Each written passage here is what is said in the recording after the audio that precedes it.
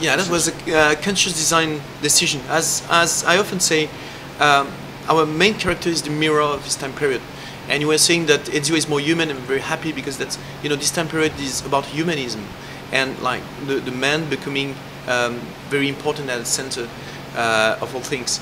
So you got a character who is an Italian, uh, is is a nobleman, is cultured, he's got a lot of panache, but still, when he's going for the kill, he's, he's an assassin, and he's, he still has this mysterious side, uh, this like prodigy kind of uh, type of hero.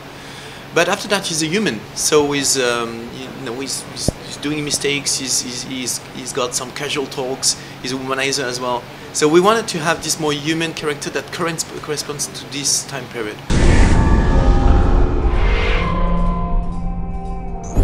Think it's the, the, the main thing about Assassin's uh, Creed. We are building franchise not around um, Altair or Ezio, but around Desmond.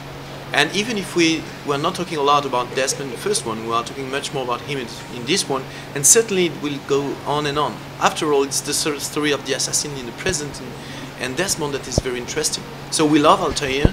Uh, it was a hard decision to get rid of Altair for this one. We love Desmond. Uh, we love uh, Ezio, sorry. But the story of Desmond is, is the one that we are telling through this franchise.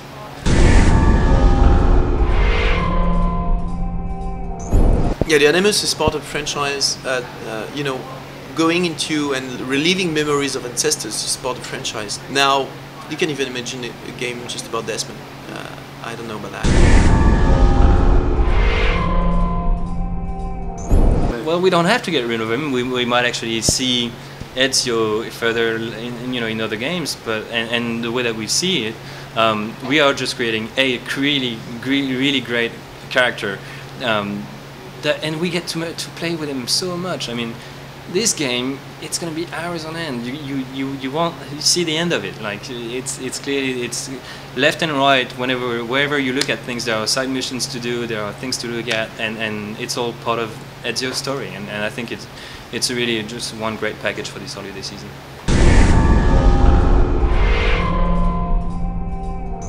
We we want to have a character who evolves uh, who evolves not only uh, in terms of skills but certainly in terms of personality.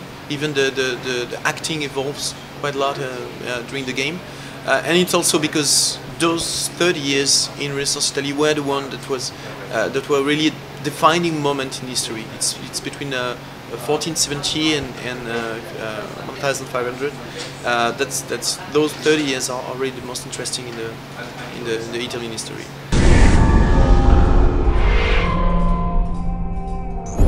What what may appear to be slower is just that it's it's still the same portion of the game, but the game is so much better and so much bigger now that you can actually. You, I'm, I'm, sure it feels that way. I mean, you you've played here this game for about now what three hours. You've probably scratched maybe 10% of it, really, and you haven't done anything that wasn't like the, the stuff that we announced. That we, you haven't played the flying machine. You haven't played the, the, the, chariot race.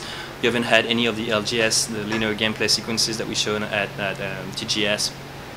So, so no, you haven't actually seen the, the, the tip of the iceberg is what you've seen so far.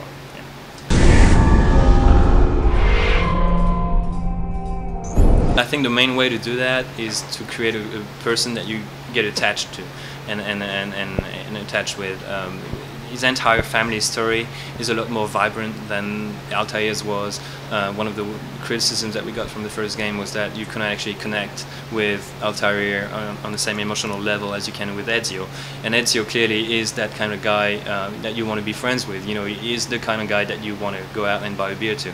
Um, and, and, and this is exactly what it is. We want you to feel like the revenge that is coming out is going out for is really just justice. It really is just justice, and it should be done. And so uh, the story actually can't wait. The story, the way that it's delivered, you're not going to be able to stop playing the game. Every single mission is going to carry on and, and drive you even further, and you're going to see the entire conspiracy unfold uh, in front of you. And you sometimes not being able to do it, it's going to drive you mad, and you're going to be playing until the late hours of the night. Somewhere on a rooftop, there's a hero in a hood. Fear him not lest you who have sinned, for his cause is good.